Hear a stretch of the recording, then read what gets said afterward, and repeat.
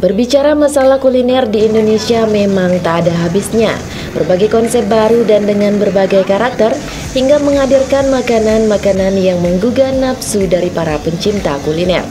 Terlebih kuliner yang berkonsep Nusantara atau tradisional karena kelezatan dan keunikannya makanan ini terus dicari oleh para pencinta kuliner. Baru-baru ini Golden Village Hotel Lombok meluncurkan menu baru.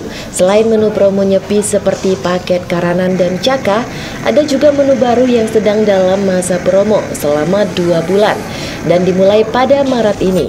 Di antaranya menu ebatan dan menu Sichuan. Tentu kata ebatan sudah tidak asing lagi di telinga masyarakat, khususnya masyarakat lokal. Dikatakan oleh Chef Mulis, Hebatan sendiri berasal dari bahasa Bali. Hal ini sesuai dengan situasi yang ada, yaitu dalam masa-masa hari raya Nyepi. Ada olahan atau jenis makanan pada menu ini di antaranya urap-urap, yaitu perpaduan sayur, nasi putih, ayam suwir, telur ayam, dan masih banyak lagi.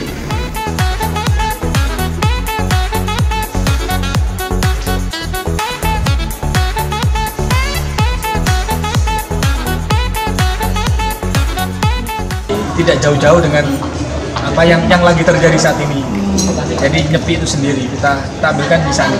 Jadi kita ambil konsep lain, termasuk promo kita juga sangat tradisional sekali. Salah satunya juga ambil bulannya ini kan bulan nyepi itu. Jadi kita ambilnya dari sana. Termasuk konsepnya juga menggunakan ini bahan-bahan dari ya, ya. Kalau kita memang dari awal selalu kita sounding adalah saya sangat mencintai Lombok, jadi semua produk yang kita pakai dari dulu dulu sebelum sebelumnya juga saya selalu menggunakan produk lokal.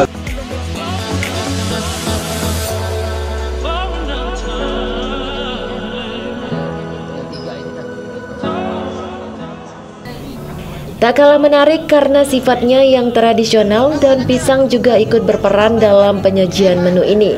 Jadi sudah sangat jelas terlihat sisi tradisional dari menu ini. Sementara itu, untuk memperoleh menu makanan tradisional dan lezat ini, pengunjung tak perlu khawatir. Karena dalam masa promo, pengunjung hanya perlu membayar dengan harga 75k saja untuk satu paket makanan. Dari Mataram, Nusa Tenggara Barat, Tim Liputan, GET TV.